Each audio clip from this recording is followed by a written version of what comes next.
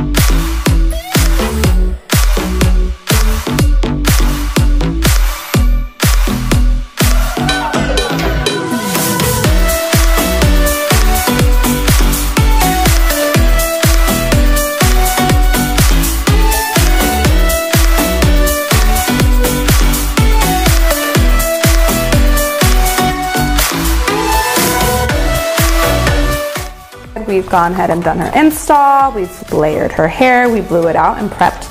And now we're gonna get started with the color process. As you can see, I've mixed my lightener. It's a nice thick consistency, which is gonna be great for balayage and hand painting. I'm gonna apply my gloves and I'm gonna get started in the back of her head. The way that I color extensions all depends on the desired look of the client. Jocelyn showed me a picture. She said she wanted some balayage. She wanted something that was low maintenance. So we are just painting and I am actually painting without using any saran wrap or foils because I want it to be very, very, very, very soft. So we're going ahead and going in with V sectioning and just softly painting it on the hair and going back in from underneath and applying the color in a backwards direction just so it is very soft and there is no line of demarcation. So I have finished painting my client Jocelyn's hair. I'm gonna let this sit and process for about 15 to 20 minutes and then take her to the shampoo bowl.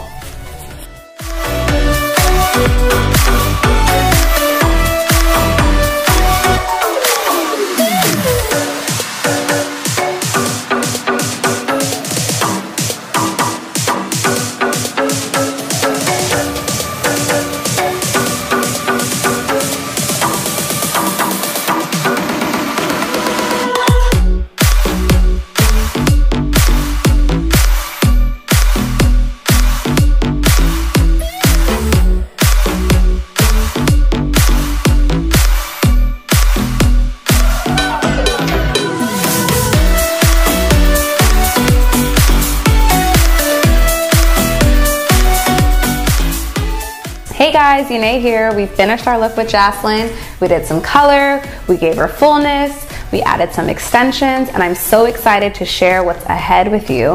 If you wanna get this look, go ahead and click the link around this video. And thank you to our friends over at Indique for partnering with us to create this look, and stay tuned for more hair tutorials.